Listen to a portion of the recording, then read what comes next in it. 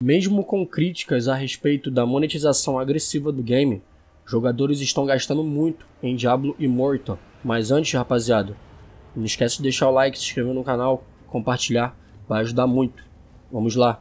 Diablo Immortal é um daqueles é, jogos que é um incômodo no catálogo reluzente da Blizzard. Por um lado, o jogo mobile é criticado duramente pelos fãs porque pratica é, alguns golpes pesadíssimos de monetização e, por outro lado, é, ele chega ao seu primeiro aniversário como um dos títulos mais lucrativos da casa. E, segundo um levantamento recém-publicado pela Data.ai, a jogatina de bolso, que é também já recebeu um porte para PC, só precisou de 365 dias para ultrapassar a marca dos 500 milhões de dólares em receita. É, nos dados levantados pela firma de análise, é apontado também que Diablo Immortal acaba de se tornar um dos 15 jogos de celular da história a conquistar mais meio bilhão de dólares em seu primeiro ano de atividade, ficando somente atrás de Fortnite, Clash Royale, Genshin Impact e o campeão absoluto Pokémon GO. É, no final desse período de um ano, é, Diablo Immortal arrecadou algo próximo de 525 milhões de dólares, que é em cerca de 2,5 bilhões de reais em gastos de jogadores a cerca de 22 milhões de dólares. É um valor muito alto, rapaziada, muito alto mesmo.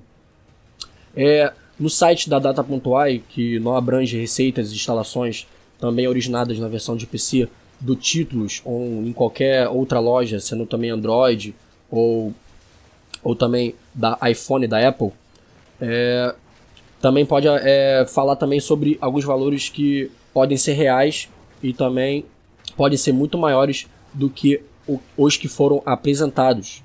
E sabe qual é o mais é, inusitado de tudo, rapaziada?